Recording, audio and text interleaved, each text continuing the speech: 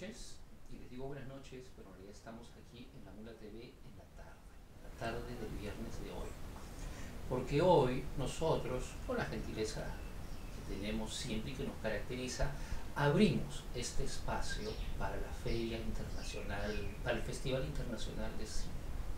Venía Ana Clara Ferreira, una al parecer famosísima actriz eh, uruguaya, Araceli con mucho cariño ha mandado el taxi, el taxi ha regresado absolutamente vacío porque no hay ni rastro de ella ni nada. Podríamos estar tranquilos, no pasa nada, pero quizá lo mejor es poder decirlo porque lo que está en juego en un programa que se ve en el extranjero era el apoyo cultural que nosotros le estábamos dando, apoyo modesto, pero apoyo al Festival Internacional de Cine. Edgar, Edgar Saba, cuando nos encontramos te saludo con mucho cariño y con ese mismo cariño te quiero decir que por favor eh, veas este tipo de cosas porque ahora el programa va a tener que salir eh, cortado, va a tener que ser más breve por las dificultades que nos ha generado la ausencia, quizá entendible, no lo sabemos, de esta persona que vino como invitada y que nosotros quisimos apoyar más que a ella al festival al invitarla aquí. Pero felizmente, a su vez, ya sin tanto aspaviento, invitamos a Alfredo Alcalde. ¿Quién es Alfredo Alcalde? Alfredo Alcalde es un pintor que a mí me ha acompañado durante el desarrollo de mi adolescencia, porque mi madre alguna vez, hacía muchos años, compró un cuadro de él y ese cuadro ha estado ahí mucho tiempo en la sala de mi casa. Mi madre, felizmente, todavía vive y el cuadro está ahí. Ya se mudó, pero el cuadro está ahí. De manera, Alfredo, que te doy la bienvenida con mucho cariño y mucha simpatía. Hemos hablado algunas veces y para mí es un honor y es un halago tenerte aquí. Bienvenido. Gracias, Manuel. Yo de feliz de estar en tu prestigioso espacio. Gracias. Eh, es difícil hablar con un pintor porque es hablar con la esencia misma eh, de la creatividad y la verdad, Alfredo, no sé bien por dónde empezar. Empecemos por lo primero. Tú formabas parte de ese enorme colectivo de pintores que pintaba, recuerdo, en el Parque Kennedy en Miraflores, ¿verdad? Sí, bueno, en los inicios uno siempre, eh, desde que ingresa a la escuela, tiene una serie de, sueños, pero también tiene que promover su trabajo. A, desvelos y a grandes esfuerzos, ¿no?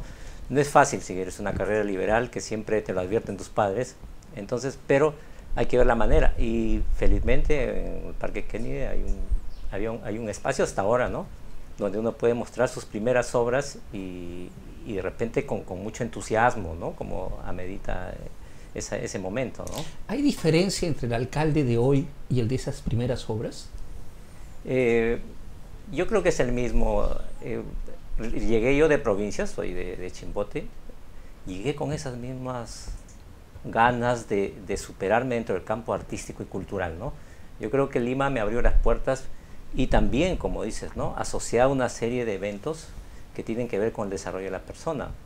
Eh, tuvimos la suerte de conocer a, maestros fuera de la escuela, aunque en la escuela aún habían maestros en esa época, y ellos nos permitieron ver de una manera más amplia lo que significa el compromiso con el arte. El compromiso con el arte. ¿El arte es un compromiso o es un estar, un vivir?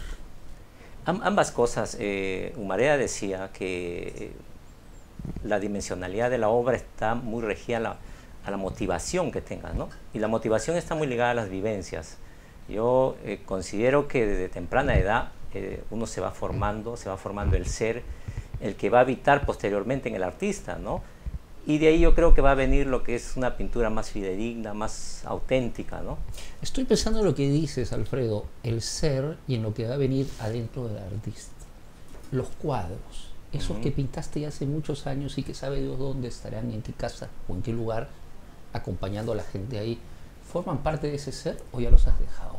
No, hay, hay este, tres, tres vestidos. Sigo citando Mareda, alguien un padre para muchos artistas, que hay tres vestidos, que uno es el pintor, el primero es el pintor, después viene el artista y el filósofo, ¿no? En la madurez uno viene a, tomar ya muy en cuenta todo lo que pasa no solamente dentro de una introspección de tu estudio, ¿no? sino lo que pasa externamente. ¿no? Porque en, un primer momento uno empieza a buscar lo que es las técnicas, ¿no? a, involucrarse mucho eh, sobre la historia de los pintores, sobre, sobre las corrientes y todo eso. En un segundo momento uno empieza a ver qué hace con estos instrumentos, con estas técnicas, ¿no? Y el tercero es de libertad total. Claro. Y de dominio de esa completud. Claro, entonces yo pienso de que eh, en el fondo la madurez viene eh, con el mismo hecho de, seguir experimentándose y seguir formando parte de la sociedad, no, no, no, no aislarse. Mm. Y justamente mi compromiso con la imagen va con eso, ¿no? Seguir sintiéndome comprometido con lo que pasa no solamente en mi país, ¿no? sino en el mundo entero. ¿Cómo ves tus cuadros de hace 20 años? Eh, bueno, los veo más ingenuos, ¿no? Desde el sentido de vista, del punto de vista del enfoque. Lo cual quiere decir además que hay un desarrollo. Sí. ¿Y cómo ves tu obra futuro? Eh, los pintores figurativos normalmente estamos eh, supeditados a cómo van desarrollándose las cosas, ¿no? Vamos haciendo una lectura una lectura desde el punto de vista, en mi caso, desde el punto de vista reflexivo, entre lo que va ocurriendo en el, eh, en el día a día. Yo creo que mi obra en el futuro va a seguir siendo mucho más reflexiva, ¿no? va a seguir siendo mucho más eh, de, de, un artista, un intelectual que va apostando por la vida. Claro, un intelectual que además sublima su inteligencia y su talento a través de la plástica, de la pintura, etcétera, y es una manera tremendamente fuerte eh, de ser intelectual. A mí Félix Oliva me decía que estaba investigando a través del arte. Así es. Y dibujaba la papa. La papa, la papa, sus raíces. Y claro, él me decía que él sentía que lo que estaba investigando era las profundidades del país. Y lo reflejaba gráficamente a través de esos dibujos eh, que él hizo eh, sobre la papa peruana. ¿Cuándo comienza un cuadro y cuándo acaba?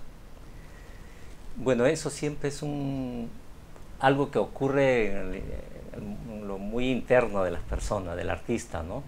Porque eh, llega un momento en que eh, vas trabajando la imagen, más allá de tus grandes habilidades de dibujo, de composición, vas desarrollando la imagen de una manera casi abstracta, que vayan eh, incentivando, tus, tus, vayas asociando las figuras que estás trabajando, ¿no? De una manera muy, mucho más alturada en el sentido amplio de la, de la palabra, y ahí es donde empiezas a hacer los primeros bocetos, ¿no? Ahí es el primer encuentro con el cuadro que vas a desarrollar posteriormente. Ahora, uno no sabe cuándo termina una obra hasta cuando uno eh, empieza otro, ¿no? ¿Y, lo acabas tú o es el cuadro que termina contigo que te dice, ya déjame que estoy listo? Sí, el cuadro empieza eh, a decirte ya basta, ¿no? Ya puedes recargar el cuadro, lo puedes embellecer de repente un poco más, pero hay otras temáticas que te empiezan a llamar, entonces empiezas a desarrollarlas. Claro, me acuerdo yo cuando hacía los periolibros, yo colocaba toda mi energía y todo mi conocimiento y toda mi dedicación en cada periolibro. Pero apenas el periolibro se terminaba, lo terminaba, ya estaba conectado con otro. y ese quedaba como de lado. Así es. Y quedaba, no en el olvido, pero quedaba ahí y toda mi atención ya estaba en otro y volví a sentir esa pulsión hacia adelante. Yo supongo que como artista en el cuadro te debe pasar al menos algo parecido o más, ¿no? Así es, más que estar conectado nosotros, por ejemplo, con el taller mismo donde ejecutamos la obra, es estar conectado con, con, la gente que nos rodea, con la problemática que nos rodea, con los sueños, con los anhelos. Lo que pasa ahorita, por ejemplo, a nosotros nos preocupa mucho porque refleja eso en el arte, ¿no? Lo que pasa, por ejemplo, en Bolivia, lo que pasa en Siria, lo que está pasando en el norte, de, en todo, todo eso es válido para nosotros. ¿Sueñas con tus cuadros? Sí, es una... Es una bueno, sueñas despierto al eh, pintarlos, pero ¿sueñas oníricamente? Yo pienso que la, consistencia de una obra también está muy ligado a tu pequeño estado que tienes primero, que es la familia, ¿no? Yo sueño mucho con mi familia, sueño de que es el, que va creando una direccionalidad a mi obra, ¿no? estoy muy agarrado de eso porque eh, yo siento que el artista muy rápidamente se individualiza, ¿no? Empieza a crear al margen de del calor humano que va recibiendo en todo momento. Me parece eh, muy interesante y muy importante lo que tú dices, porque además yo conozco a tu esposa y cuando yo converso con ustedes se nota que hay una dualidad integrada, que son los dos una pareja, que evidentemente lo son, y yo supongo que en esas conversaciones, en esa forma de comunicación, de alguna manera tiene que hacer eco también. en tu Así es. pintura. Así es. Tu mujer te acompaña en todo esto. Sí, eh, tuve la felicidad de conocer a Ivette, Ivette Aguad, artista plástica, en la Escuela de Bellas Artes. Y con ella este, caminamos juntos en este reto que significa eh, el compromiso amplio en el arte. ¿no? Hablemos de retos y de arte, pero antes permítame hacer una pregunta. ¿Nos quedan cuántos minutitos? Unos seis. Tenemos seis minutos. Te pido un favor. Sí, sí. man. Piensa una imagen y descríbela. ¿Cuál es? Eh, bueno, ahora estoy trabajando en. No, no, no. Piensa obra. aquí, en esta conversación, en una imagen y descríbela. Bueno, Que no sea un cuadro tuyo, ya pintado.